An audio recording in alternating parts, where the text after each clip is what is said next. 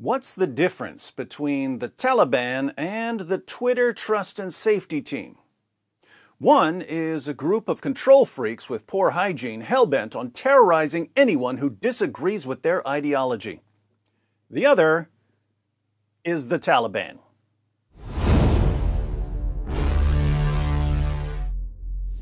I'm not on Twitter. I've been locked out of my account since 2019 because I refused to take down a tweet that the morons on the trust and safety team said contained footage of graphic violence, even though it didn't contain any graphic violence whatsoever. In reality, they simply disagreed with something I said, but I hadn't violated any rules, so they did what the trust and safety teams always do they made something up. And when a bunch of losers sitting in their safe spaces are given complete control over what people are allowed to say, making something up is all they need to do. So now I get my news about Twitter from other people.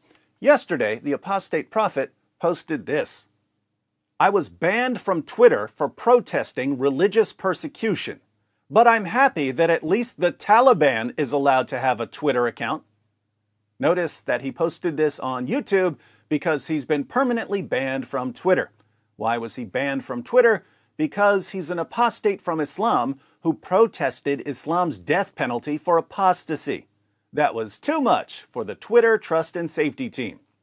But the Taliban, as AP notes, is on Twitter. In fact, Taliban officials have multiple Twitter accounts where they post details of their latest attacks. Also, yesterday, I saw a video clip featuring Congressman Dan Crenshaw, who's a retired Navy SEAL. Congressman Crenshaw only has one eye because the Taliban bombed his face.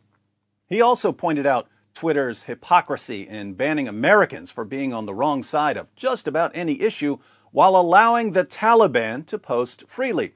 He tweeted, Hey, Jack Dorsey, why does the Taliban get an account? You see why Americans are pissed about your BS standards? As I mentioned, the Taliban actually has multiple accounts and two spokesmen. One account is the official Twitter account of the spokesman of Islamic Emirate of Afghanistan, Zabihullah Mujahid. Notice this guy has over 300,000 followers. Mr. Mujahid has been a spokesman for the Taliban since 2007. He's the guy who claims responsibility when the Taliban launches a terrorist attack. Here's the page of the other Taliban spokesman, Qari Yousaf Ahmadi's official Twitter account the spokesman of Islamic Emirate of Afghanistan. He doesn't have as many followers as Mr. Mujahid because he hasn't been posting on Twitter as long, but give him time. Jihadis of the world want regular updates on how the infidels are being slaughtered in the name of Allah, so these Taliban spokesmen are going to become more and more popular.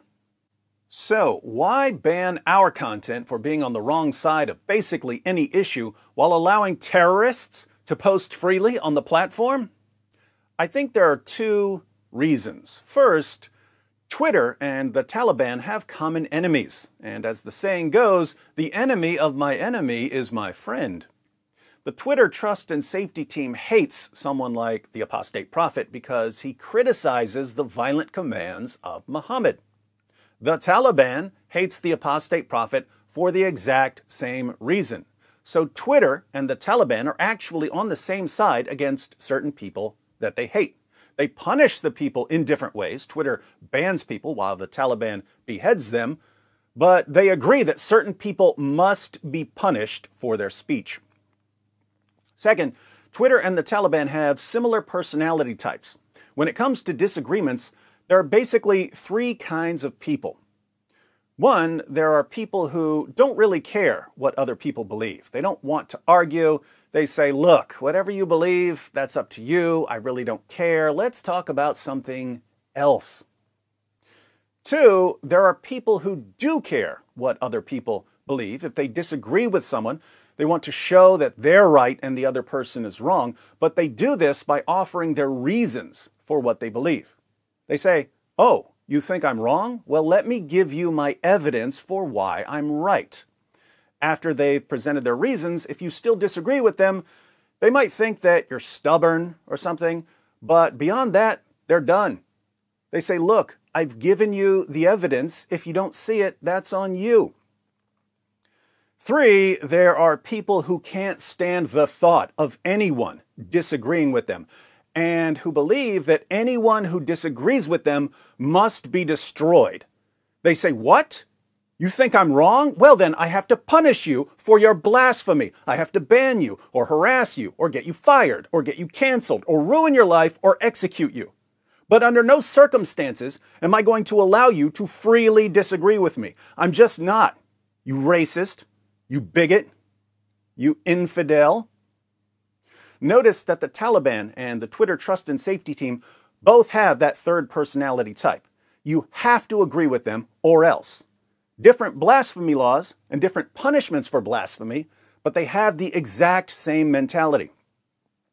So that's my theory about why Twitter allows terrorists to tweet, but bans critics of terrorism.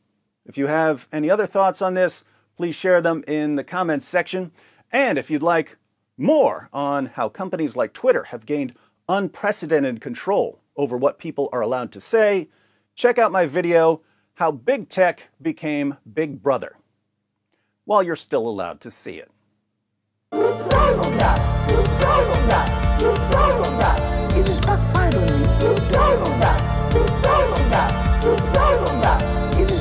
Me. This is a power of religion. There's a reason to it. Yeah? Yeah?